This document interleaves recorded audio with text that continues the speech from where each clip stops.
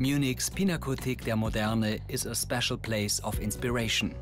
Florian Schwarz is here with Dr. Michael Herrler, who is overseeing the design of the new navigation system Professional. Dr. Herrler, so what exactly is the connection between a museum and the new navigation system Professional? Of course, we as designers go through life with our eyes open. We find inspiration in architecture, art, shapes and colors. Here, for example, we have beautiful lighting effects that also give us the idea for the new navigation system, Professional. This shows very clearly how the sculpture is staged against the background lighting. The interplay between shadow and light gives fantastic emphasis to the edge. And this is precisely the effect we wanted to convey to the digital world through the new screen design. The Art of Car Design exhibit showcases BMW stylistic elements. Here we clearly see these dynamic flowing lines that are highly typical of BMW. And it's precisely these dynamics we're wanting to pursue, from the exterior design to the interior design through to the tiniest detail, to create an overall experience for the customer. Florian and Dr. Michael Herrler have arrived in the basement of the Pinakothek, home to the impressively illuminated Danner-Rotunde. The BMW designer has drawn inspiration above all from the special light mood. Dr. Herrler, how were the inspirations actually translated into the design of BMW's new navigation system Professional? I can easily show you how. Here, we began with a jet black room that really conveys depth. And here, the dynamic lines in the background that expand the room again by this third dimension. The edge of the menu that's currently open is given additional emphasis in order to create yet another special focus. The active cursor also gets a kind of laser light to allude more to the active element. You've brought along an object for us to look at. What can we see? Yes, the new system is constructed in 3D for the first time. And the controller's movement, for example, will be animated in the system in real time later. And we can see that clearly here. When I move the object, the light changes from left to right. And we have exactly the same effect if the controller tilts in the vehicle.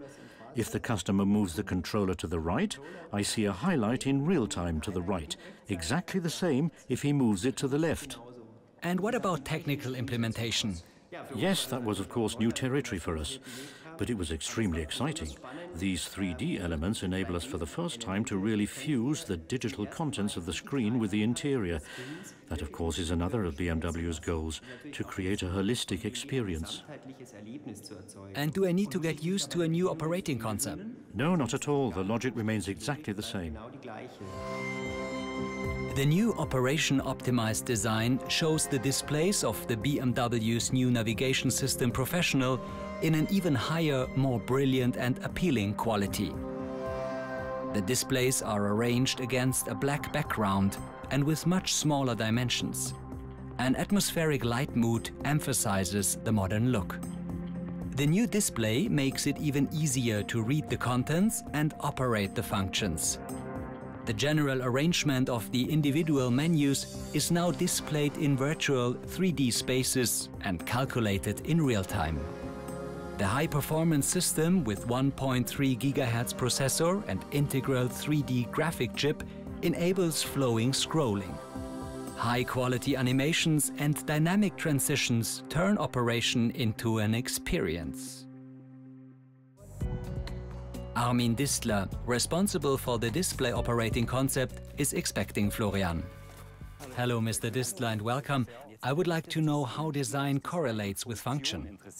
Let's use this building as an example. The purpose of Munich's Pinakothek der Moderne is to appropriately showcase its exhibits, allowing them sufficient space and sufficient light. Conversely, it must also be highly aesthetic to the outside world, as it appeals to me, for example, very much. When I pass by, I feel instantly welcome and perceive this building as a special building. And that's what we want to achieve in our vehicles in terms of operation. For our customers not only to understand the functionality, but also for them to interact with high operating safety during their journey, while perceiving the vehicle interior as highly aesthetic. Then I'd like to take a look inside the vehicle. With the new navigation system Professional, design and design functionality go hand in hand. We need to get our customers on board the very first time we meet them, explain to them the degree of freedom they have when operating the system from the controller. A nice example here is the direction of rotation. How do I need to rotate the controller to move down the list? The connection between the cursor and the controller shows that this works only by rotating to the right. What we also need in the system is a menu interaction over various menu levels. We can show that clearly here. I come from the left side, I'm in the telephone directory, and can now move by tilting the controller. At the very moment I actuate it, this list moves towards me, sending out a signal in the process. I'm now ready for operation. Another very important aspect for us is scrolling. The driver needs to be able to select entries while driving without distraction. Here we have varying degrees of speed, so when I interact slowly, I see slow scrolling, and when I interact quickly, the process speeds up, finding the entries more quickly. All animations are always held in the system to fulfill a particular purpose. In other words, they help the customer understand the system. They don't just exist for the sake of it. They're supposed to assist the customer with operation while he's driving. Mr. Distler, thank you. To try out the new navigation system professional, Florian is now on the road with Thomas Stocker. As development project manager, he's more familiar than anyone else with the new functions. Mr. Stocker, thank you for joining us and briefing me. Let's start with navigation. What new features are there? The displays for the navigation process and the map views, for example, have been revised. The split screen here in the central information display now has new display functionalities. Even when inputting the destination country, city or street, the split screen shows me the selected city in the map view too, thus helping orientation.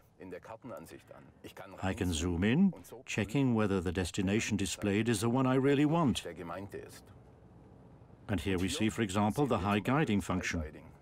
What exactly means high guiding and what's the benefit? High guiding is an expansion of the established guiding system using the arrows in the split screen. High guiding is activated automatically. The arrow view then becomes a detailed display of the surrounding area. This enables you to better orientate yourself at the end. The 3D city models too, that is, the lifelike display of streets and buildings, is supposed to help orientation. And what new features are there when it comes to multimedia? One new feature is our multimedia player. We've introduced the replay list similar tracks. If I like a song I'm currently listening to, for example, I can select it and this replay function will create for me a new replay list containing similar tracks.